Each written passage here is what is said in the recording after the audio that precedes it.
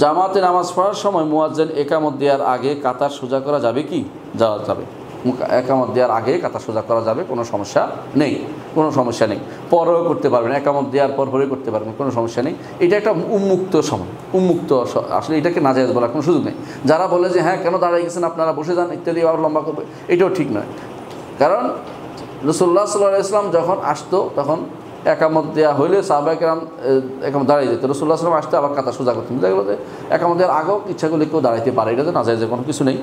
এবং পরেও দাঁড়াইতে পারে। মানে এটা উন্মুক্ত একটা জিনিস। এটাকে বাধ্যবাধকতা একবারে কাতকামতি সলা বলে দাঁড়াবে বা হাইয়া আল্লাহ সলা বলে দাঁড়াবে, এরকম কোনো নির্ধারিত কোনো নিয়ম কোথাও বেঁধে দেওয়া হয়নি।